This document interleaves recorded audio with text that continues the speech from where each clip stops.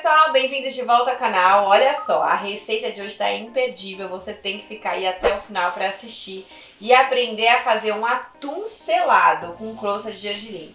É aquele prato assim que os convidados vão ficar uau, né? Porque realmente é para surpreender, mas vocês vão ver o quanto é fácil. E olha só, aproveita aí antes de eu passar os ingredientes para vocês, de já ativar o sininho aqui para aproveitar e se inscrever aqui no canal.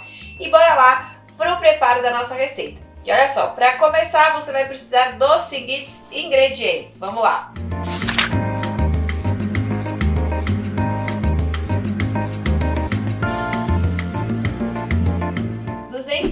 gramas de atum, lombo do atum, bem fresquinho, uma colher de chá de gengibre ralado, meia colher de chá de amido de milho, 3 colheres de sopa de vinagre de arroz, um terço de xícara de chá de shoyu, um terço de gergelim preto e um terço de gergelim branco, meia colher de sopa de açúcar mascavo, meia colher de chá de óleo de gergelim, duas colheres de sopa de azeite e uma colher de sopa de cebolinha. Então a gente vai começar temperando nosso atum com sal e pimenta do reino.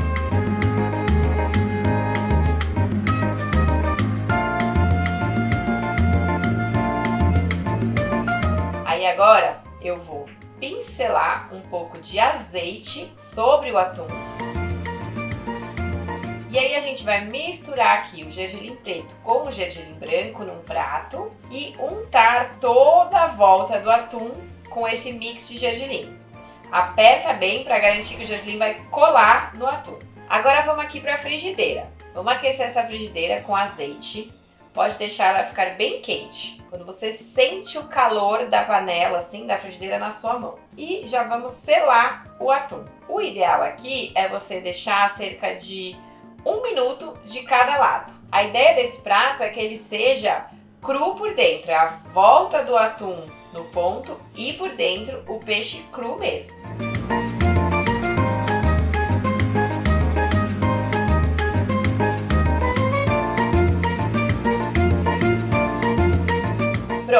Selamos bem, já está pronto o atum. Eu vou tirar e reservar. Agora, nessa mesma frigideira, eu vou preparar o molho que eu vou servir por cima do meu atum. A gente espera a frigideira esfriar um pouquinho, pode desligar totalmente. E aí vamos colocar os ingredientes do molho.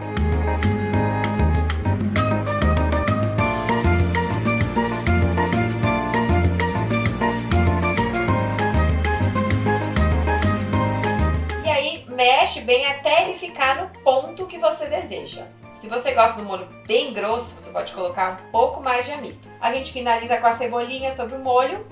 Pronto! Então, olha só que maravilhoso. Agora o segredo é uma faca bem afiada. Aí, ó.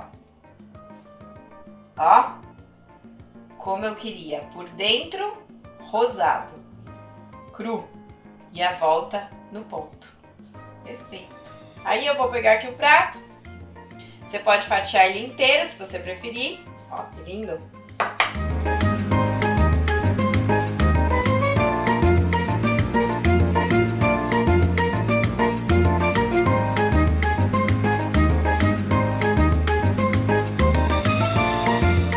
Perfeito, no ponto. Um prato super diferenciado e muito legal para você praticar aí na sua casa. Eu espero que você tenha gostado. Não esqueça de curtir esse vídeo. Qualquer dúvida, deixar aqui no comentário que eu vou respondendo todo mundo. Até a próxima. Tchau. Fui.